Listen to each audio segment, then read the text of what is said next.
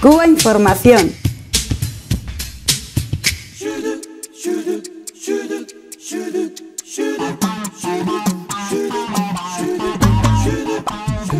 Vamos a empezar eh, con nuestro programa, en este caso hablando de este nutrido grupo de cubanos, esta delegación cubana que ha conseguido viajar a los Estados Unidos para participar en la conferencia de la Asociación de Estudios Latinoamericanos, LASA. Y bueno, esto ha creado una gran polémica entre congresistas en Estados Unidos, etcétera, etcétera, porque hay nombres como por ejemplo el de la hija de, de Raúl Castro, de Mariela Castro. Así que vamos a hablar de este tema. Bueno, ha habido protestas de, por parte de congresistas y senadores de la ultraderecha mm, de origen cubano y de la ultraderecha de origen norteamericano, precisamente porque el gobierno de Estados Unidos ha dado la visa de entrada a, esta delegación cubana numerosa y sobre todo se han centrado en la figura de Mariela Castro, eh, hay que decir, la directora del Centro Nacional de Educación Sexual. Ella ha estado junto con, otro, otro compañero de este centro, eh, con Alberto Roque, que es uno de los especialistas eh, en diversidad sexual, bueno, pues hablando sobre las experiencias cubanas en la lucha contra la homofobia, los problemas, los avances, los programas que se tienen en materia de transexualidad, los logros que ha obtenido Cuba en, en los últimos años. Y eh, estos congresistas han, bueno, están haciendo pues, pues, su particular guerra mediática con, todo esto. También el gobierno de Estados Unidos simultáneamente y para otro evento le ha dado la visa a Eusebio Leal, que es el, historiador de la ciudad de La Habana, bueno, un erudito, hemos hablado muchísimas veces de esta persona que realmente necesitaría muchos programas ¿no? para hablar de todo lo que de todo lo que abarca su saber y su acción política, social, etcétera, empresarial también.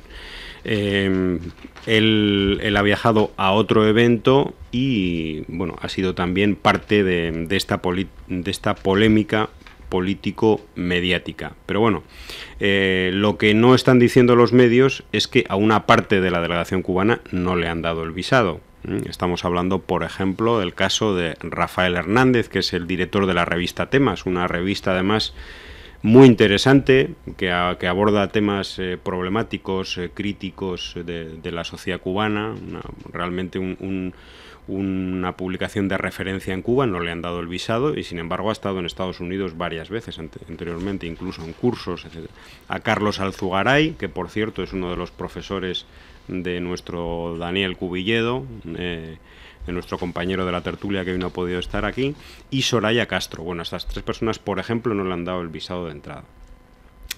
Eh, y, esto, ya digo, lo de que no le han dado el visado de entrada, pues es, es algo que no aparece en los medios. Bueno, muy buenas noches a toda la audiencia, a todas esas amigas y amigos que están en sintonía con nosotros. Pues bueno, esto eh, eh, la, hay que decir que la mafia de origen cubano eh, tiene por, por, sistema pues montar todos estos shows y, revolcarse en su estercolero cuando de eh, personas de Cuba que viven en Cuba y que son personas revolucionarias, bien artistas, académicos, o sea, cualquier eh, persona que evidentemente es patriota, evidentemente trabaja por eh, la revolución cubana, eh, por el pueblo del cual forma parte, pues irrita sobremanera a todo este, todo este mundo mafioso que sigue anclado en, en la prehistoria, pudiéramos decir, ya que no, no aceptan, hay, hay un odio un odio muy profundo, eh, una frustración muy grande en, este, en estos grupúsculos, en estos grupos de, gente que han estado, bueno, eh, alimentados, anidados, eh, apoyados por las distintas administraciones de los Estados Unidos en su estrategia política de derrocar a la revolución cubana. Entonces, cuando aparece un nombre dentro del grupo de, de intelectuales, de científicos, como Mariela Castro, pues la irritación lógicamente es mayor. Independientemente que eh, hay que decir que eso se traslada a senadores y congresistas eh, de origen cubano, de muy dudoso origen cubano, porque en definitiva estas personas, estos congresistas, estos senadores, como el caso de, de, Robert Menéndez, o Bob Menéndez, Robert Menéndez, mm. pues no tiene nada que ver con Cuba, incluso su mentalidad, su ideología, en fin, esta gente están asimilados perfectamente con el modo de vida y con la eh, de la élite del imperialismo norteamericano y forman parte de ello. Por tanto, eh, este, por ejemplo, este Bob Menéndez, pues saca a relucir una proclama de nada más y nada menos que el inefable Ronald Reagan, eh, de 1800, bueno, una, proclama... 1981, ¿no? Sí, en 1981, que prohibió el ingreso de funcionarios del gobierno cubano del Partido Comunista de Cuba a Estados Unidos.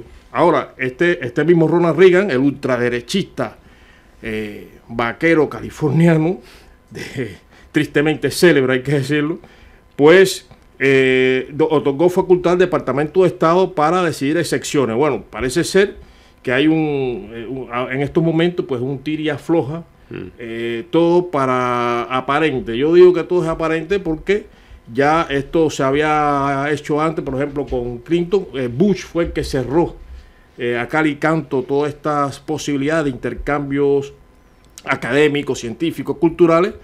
Pero ahora con Obama, bueno, se le ha dado la visa a este grupo de personalidades de la ciencia, la cultura cubana y y bueno, eh, Mariela Castro es eh, una más, no hay que darle, es una más, dirige un, el Centro Nacional de Educación Sexual que está haciendo un extraordinario trabajo eh, en, todos los terrenos de lucha contra la homofobia, de, de lograr el pleno derecho de, de los grupos homosexuales, lesbianas, etcétera, dentro de la sociedad como no se está haciendo, ni por cierto, en ningún país de América Latina y posiblemente en ningún país ni del tercer mundo y mucho del primer mundo. Pero bueno, mm. eso es otro tema. El caso es que eh, hay irritación. Hay irritación cuando aparecen en Estados Unidos eh, estos grupos, eh, es un grupo de, cubanos y de cubanos revolucionarios, y lógicamente no, no acepta. Entonces están buscando, por ejemplo, este senador que he mencionado, Robert Menéndez, eh, pues eh, planteó que era decepcionante la decisión del Departamento de Estado y apeló a la proclama que hemos mencionado, la de Ronald Reagan.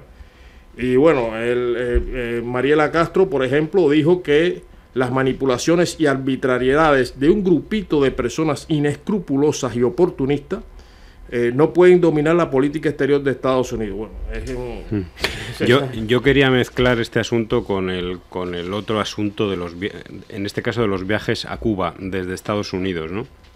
porque se habla mucho de la flexibilización de los viajes por parte de la administración Obama, de que ahora hay, hay algunos grupos de personas que viajan a Cuba.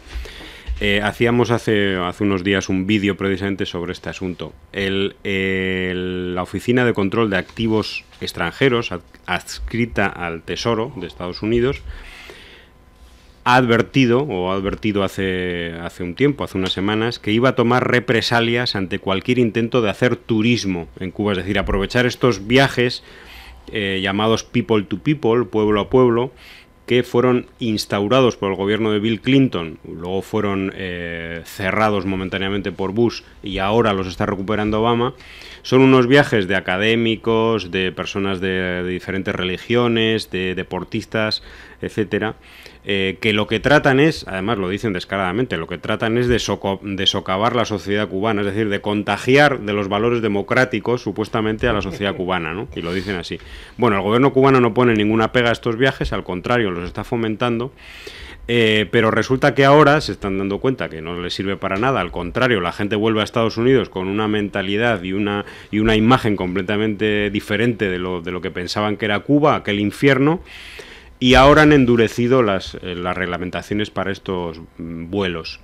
Y dentro de ellas está aquello que tanto se le, se le, acusaba a los países socialistas e incluso a Cuba en los años 70 de meter a los comisarios políticos o alguien, eh, toda, toda aquella, todo aquello que decían, bueno, pues lo que, lo que les obliga ahora a la legislación de Estados Unidos es a meter a una especie de, de comisario ideológico para vigilar que las personas que van a estos viajes no tengan contacto alguno con ningún funcionario del gobierno cubano. Y hay penas de 65 mil dólares para ellos. ¿no? es curioso, ¿no? Esta cosa de no, no otorgan las visas a uno para entrar, luego... Sí, porque claro, es que una cosa es la, la manipulación y eso lo hemos... y estamos es nuestra lucha, ¿no? Y es parte de nuestra de nuestra actividad de desmontar toda esta, toda esta propaganda, toda esta manipulación mediática de los grandes eh, consorcios mediáticos contra Cuba.